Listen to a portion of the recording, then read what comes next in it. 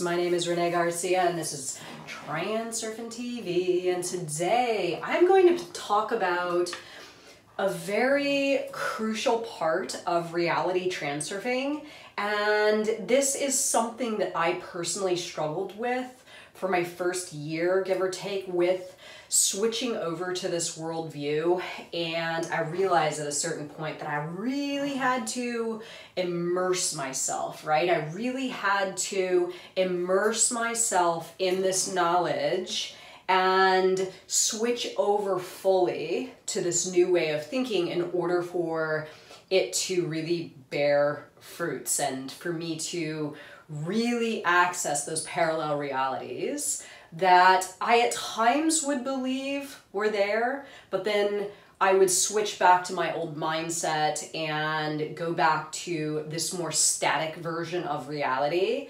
And this flip flopping back and forth became very confusing. And I've heard a lot of people talk about this in the community, sort of getting heavily involved, really seeing reality through those rose colored lenses, and then going back to that previous mindset and wondering, well, what the hell's happening? So I'm going to break it down for you in this video. If you are in fact struggling to properly immerse yourself in this quantum knowledge, right? This is really what the video is going to be about is how to dive in fully and see more benefits and more rewards from this knowledge. Before I get started, remember to like my video and comment below. My world is taking care of me to enter my daily giveaway for my reprogramming stickers, uh, Reality 2.0 on Teachable down below. Check it out. Join us on Facebook.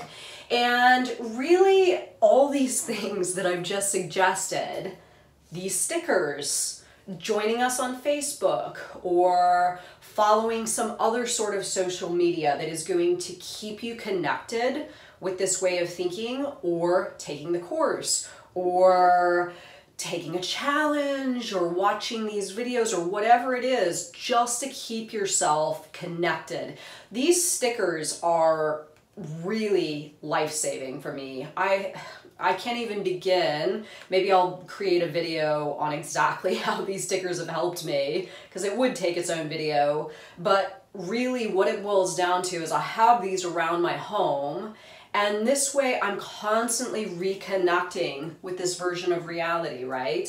With this variation of reality. And it's in that sort of steadfast connection, that, that methodical connection bringing me back around to the idea that we now have transurfing. I now have transurfing, and this is a better, better model in which to see reality, right? So all of these things that I'm continuously suggesting, these are these are things to use as pillars to help you stay connected if you want to see the rewards from this modality exponentially increase in your daily life. So this video, quantum immersion, I really, the reason that I named this video quantum immersion is because in, in my opinion, from my own layer of reality and my experience, I have two sort of worldviews that I can live in, two, two worldviews that are naturally accessible to me, right? Naturally. Obviously, there's the worldview that was formed pre-reality transurfing. This is a static worldview. This is an unmoving worldview. Oh, this is what I have, and oh, it's so hard, and all I can do is do my best, and it may not be enough. And that typical why, why is everything such a challenge? Oh, that could never happen for me, right? Oh, those sorts of things don't happen for me. All those kinds of thoughts, all that limited thinking, that is my, that is my pre-reality transurfing worldview. And then I have my transurfing worldview, my quantum worldview, my alternative space worldview, this new worldview that is very much, very much based on non dualistic thinking. I will get more into that in a moment. Based on non dualistic thinking, based on my ideas of how you tap in to a higher variation of reality. Again, acknowledging that that variation of reality exists resonating with that variation of reality, keeping your thoughts in line with that version of reality, or thinking as though you are already accessing that version of reality and then taking action in the direction of that version of reality. So this is this is my mind opening worldview, right? This is everything's accessible and I have the tools and the meta power to get to those variations of reality. Now, again, like I said, in the beginning for the first year, I realized the quantum benefit. I realized how the concepts were really uh, contributing to a new worldview and new success. But as soon as I took it for granted and I backed away from the knowledge a little bit, maybe I stopped listening to the audiobooks, maybe I stopped reading transurfing. I didn't have a lot of social media at the time. I had no social media, in fact. So it's challenging for me to stay connected, and I would fall back into my old worldview. So this happened a few times where I flip flopped back and forth, and I was like, well, what's going on here? Why can't I seem to stay on the transurfing tip, right? Why can't I seem to, why can't I seem to fully merge with this knowledge and make this knowledge really put this knowledge in the forefront of my mind where this becomes my default way of thinking because that's what I wanted. And I was challenged to understand exactly how to do that until I realized that what this book is what this book is intended for, what this book is attempting to do, what Vadim Zeland is attempting to do, what I am attempting to do, is help you reprogram your mind in the direction of reality transurfing. Opportunities, access to the alternative space, um, really gaining a firm understanding of what variations of reality exist for you to access, and then what you need to do exactly to get there right? This is the whole of transurfing. It is a new program. That's why my that's why my teachable course is called Reality 2.0, right? This is a new program. So what happens though is that old program has been running for so long. It's on default, right? Those are very very um, well-worn neuro pathways and ways of thinking, patterns of thinking, habits. All these things are so embedded in you that you can't simply just read the book and then switch over, right? It's going to take you returning back again and returning back again and catching yourself when you go back to that old program and reminding yourself, hey, wait a second this is the new program and I want this to be my only program. So that gets me to my point that you can't have both, in my opinion. You cannot view reality as static through your old program and then at the same time view it as completely open and you have access to all these different variations of reality. You can't do both at the same time. So it's kind of like you know, where the rubber meets the road. It's time to make a commitment if you are flip flopping back and forth. And again, lots and lots and lots of people message me, ask me questions about this exact subject. Hey, it looks so good, it looked so good, and now I'm suddenly back to my old program. So here's the good news you can switch but again, it takes a commitment and you have to fully immerse yourself. You have to commit to becoming a transurfer full time. And this is essentially why I'm doing what I'm doing now. I mean, also, I do love to help people. I want, I feel that this is my purpose in life to help everyone that needs this information, I want to help people connect with it, right? And interpret it to a practical understanding. Now, it is a little bit of a secret. I've said this out loud a couple of times, but you know, for, for the sake of this video, a lot of what I'm doing right now is for my own selfish gains. This helps me, everything I'm doing, the Facebook group, the Teachable course, creating lessons, giving seminars, doing one-on-one, Transurfing TV. It's all to help me stay immersed so I can continue being a transurfer full-time, right? So I'm going to talk a little bit about these, uh, these points here. Give up static reality for good, commit to a broader worldview, duality serves little purpose, take a challenge and stay connected.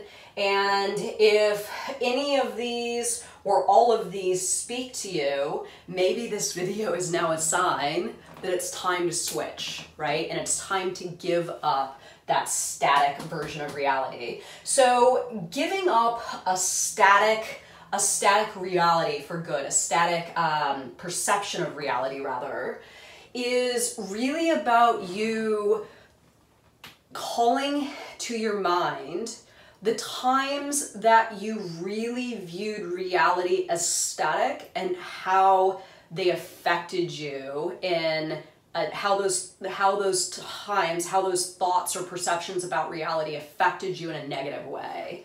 So for me my static reality was everything's always going to be a struggle right? Um, everything's always going to come the hard way. This is what i've got and i gotta make the best I, I of do the best with it that i can but i'm limited in my abilities. I'm limited in um, my opportunities, all that kind of thinking.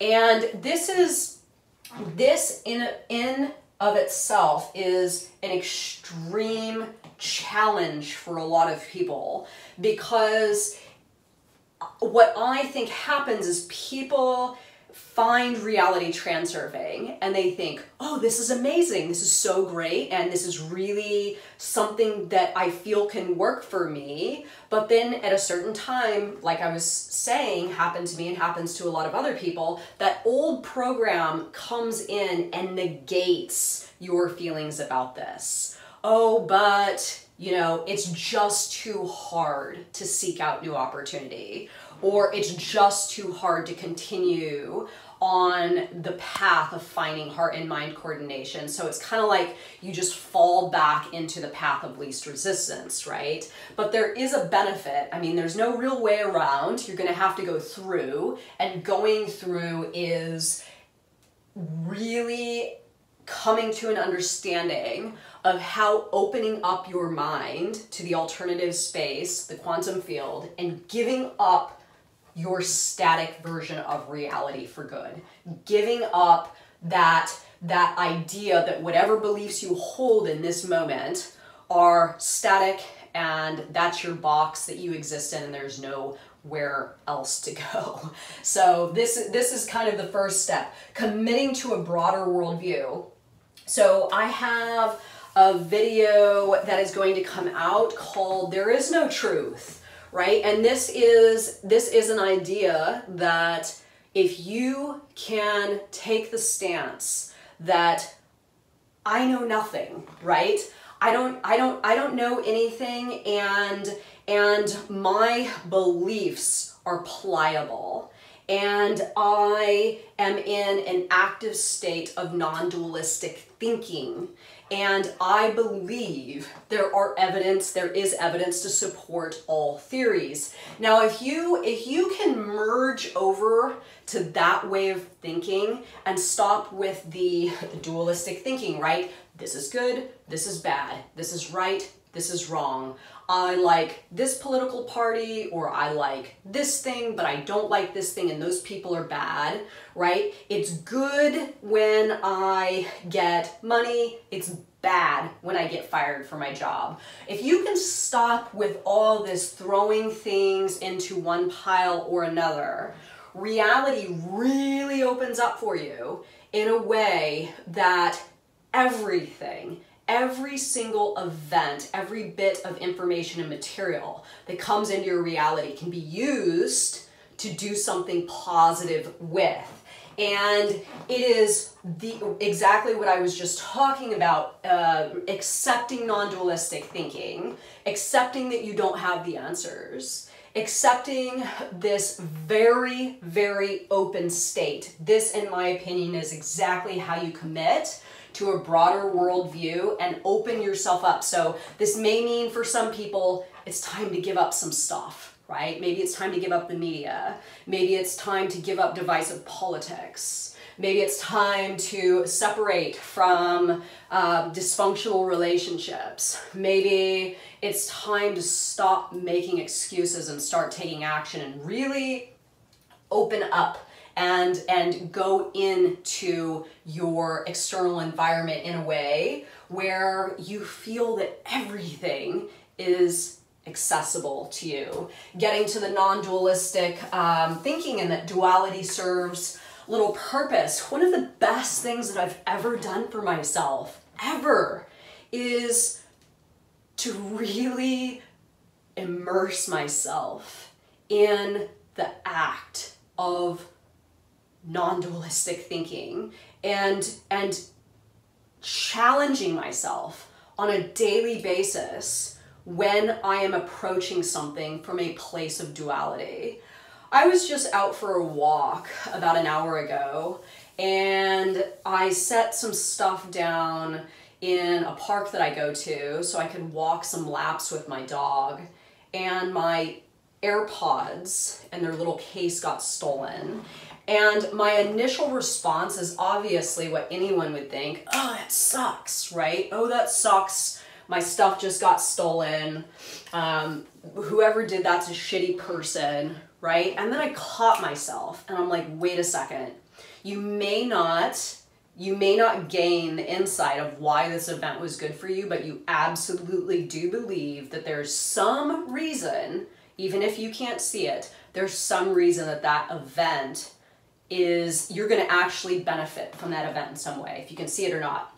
So if you can get your brain working in this opposite direction of what is, you know, what is uh, intuitive to us, this is this is really a a place where so much can be harvested, so much, and again, it takes practice. And I would suggest, you know, maybe reading a couple of things like David Hawkins' Letting Go. This is an amazing book. He's a great um, non-dualistic thinker. Love that book. And you know, in a lot of regards, transurfing is definitely about non-dualistic thinking as well. So this is, in my opinion, to fully immerse quantum immersion, switching over to become a full-time transurfer, the inversion technique advantage, and really approaching reality from a place of non-duality is absolutely key.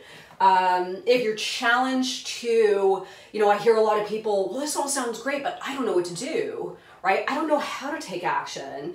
And the thing is, we are sort of we are sort of trained to retract to our little boxes of comfort right our little comfort zone that we don't like to expand up out of because that can be risky right? So so taking a challenge, my 30 Anomalous Action Challenge, we're doing the, the Quantum Boot Camp Challenge right now. Watch those videos if you haven't heard what those challenges are. But this is you setting the intention and taking the initiative to learn how to take action to learn how to come out of your comfort zone, to learn how to do something in another direction, to learn how to think outside the box. This is all what these challenges are about. It's you taking anomalous action to exit your comfort zone. So much exists outside of your comfort zone. It is like, you know, you're accessing 0.0001% right now, and there's an infinite number of variations and variabilities that you can access, but you are not going to access those things doing the exact same thing that you're doing day after day after day after day after day.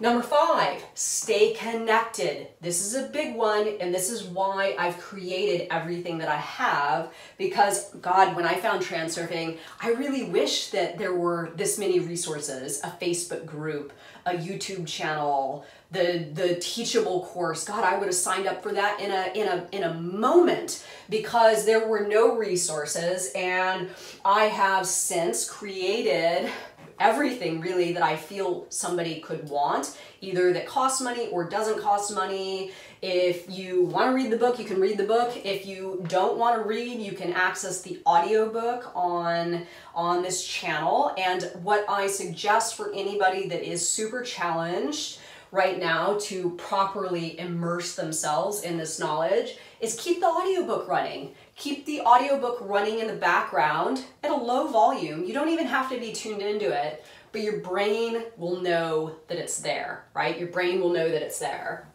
So stay connected, network with people that are transurfers, do a creative project about transurfing, create something to help others learn, um, make a video, talk on the Facebook group, do something, but stay connected to the knowledge until you feel you have adequately and properly immersed yourself to a point where this becomes reality 2.0, right? The new program. So sorry for the long video, everyone. I felt like it was time to really dive into quantum immersion and what I do to stay immersed in this knowledge, how it helps me. And my God, it has completely changed absolutely every aspect of my reality. And I'm so happy that I made the commitment to become a full-time transurfer. Let me know your thoughts and your questions. Remember to like this video and subscribe and thank you so much for watching. Bye guys.